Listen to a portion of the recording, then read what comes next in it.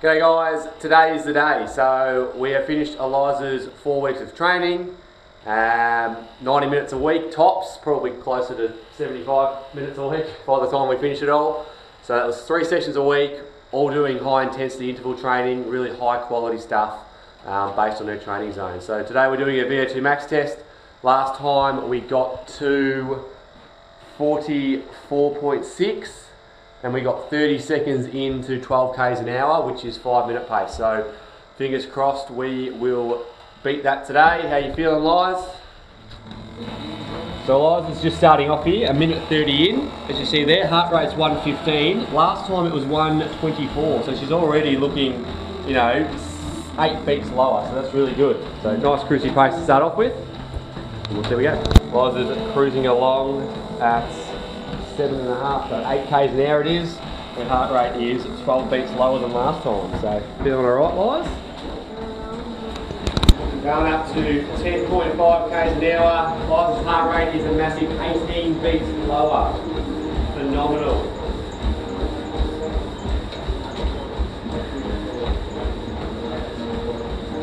So clearly what's actually happening to her heart over the last four weeks of training is that due to endurance training we get uh, an increased volume and size of the left ventricle which is obviously where the, the uh, blood's being ejected out from. We also get a lot of hypertrophy of the heart, so thickening of the heart walls, so we can actually push blood out quicker. So the combination of those two, the increase increased size and the, the musculature of the heart, being able to push it out quicker, that's more blood per beat. We can drop down the heart rate at the same speed, so that's a very good adaptation we've got. Do this last 10. We can do this 10, and we'll see. Come on. That's the way. Good work, guys. Come on. Five seconds, five seconds, your call. Here we go. Two seconds, your call. Good work, you got it, you got it, good stuff. We're at 51.5, that's good, 51.5. Just finish up this last last 25 seconds, come on. Heart rate's good, got 184, still lower, good work. 15 seconds, you got it, 15, last 15, you got it, last 15. Here ready, five seconds, five seconds. Five seconds, you done? Two, one, go. Here we go, 13. Ready? Go as best as you can, you got it. Flying it. Good work, come on. Tell you when it's 15. That's 15, give me one more, one more. One more, one more, last one. That's the way. That's the way, good Liz, good, come on. Awesome, huge improvements. Give me five seconds, five seconds. Two seconds, your call, thumbs up. Done?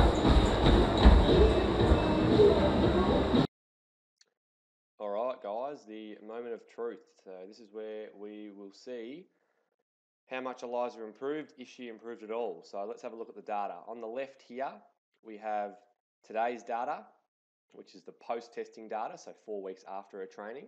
And on the right, we have her pre-testing data. You can see the dates here, uh, the 4th of January 2017 and the 6th of February 2017. So what's that, 32 days in between, no less because it's February. So yeah, perfect, right on the month. So a um, couple of things to look at here. First of all, we'll go straight into it and look at VO2 max. So today we got 52.1, whereas her pre-testing value was 44.6.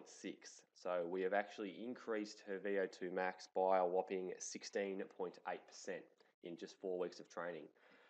You'll see today she uh, reached her VO2 max at a heart rate of 182 at uh, a speed of 12 k's an hour, which is five minute pace. So um, you see that we did get a good minute and a half past that, but obviously her VO2 plateaued, which is quite normal, um, which was the same in the pre-testing where she um, reached it at 11 k's an hour. So she's up to VO2 max value by um, a whole kilometre and up, uh, one kilometre per hour, which is pretty significant in four weeks. You'll see that last time her heart rate was 188 at VO2 max. This time it was 182.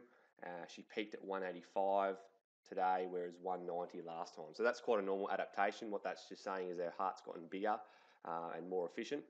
And I'm going to show you some some data to, to support that in a sec. So uh, there's three aspects to VO2 max. There's our our lungs, our, our respiratory system, um, so how good they are, how much air we can actually breathe in, how much oxygen we can breathe in.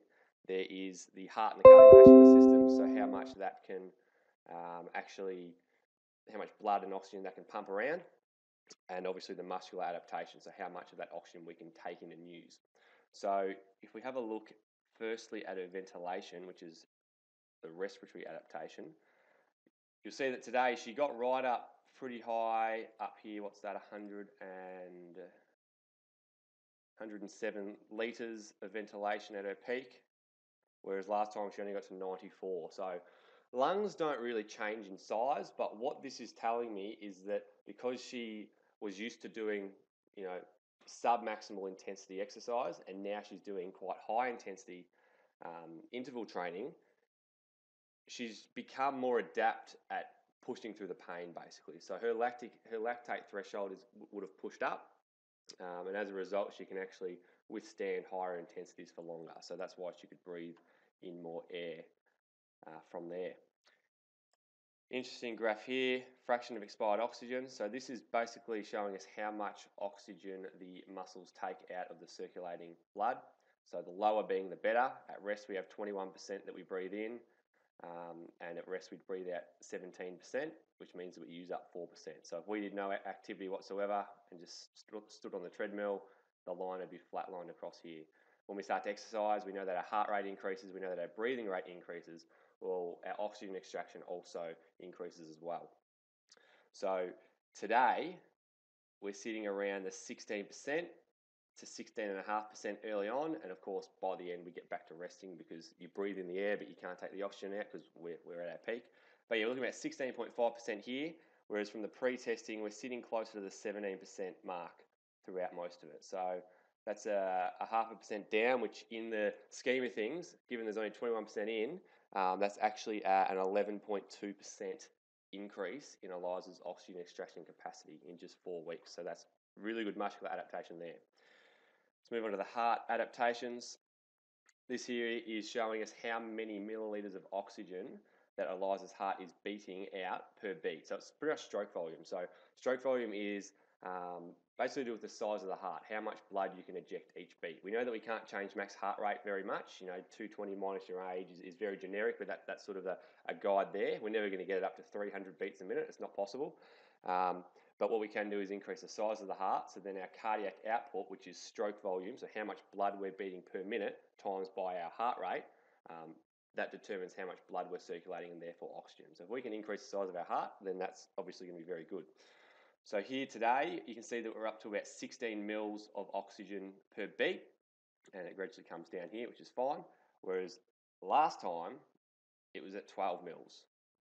Once got up to 14 mils, but you know that's that's uh, that's a big difference. That's a 33% difference in how much oxygen Eliza is beating per beat. So that, that's a massive improvement. And that's why we saw that heart rate go down. We saw that she peaked at what her VO2 max was a heart rate of 182 today, whereas it was 188 last time.